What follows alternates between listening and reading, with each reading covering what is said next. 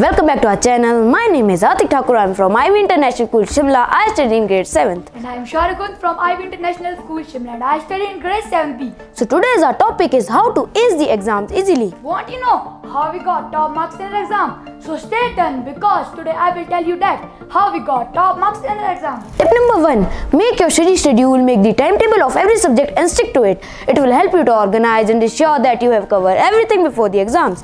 Tip number two, we should use flashcard and mind map so we can clear our thoughts and our idea. Tip number three, take regular breaks. Short frequent breaks will help you to be fresh and focused.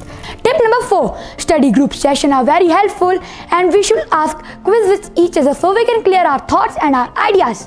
Tip number 5 Be active and healthy. Eat well, take a good nap. A healthy body keeps your mind sharp. Now it's your turn. Which is your favorite study tip? Please share comment below if there is any specific thoughts and idea regarding our subject and our topic. So please, we'll cover our topic in our video.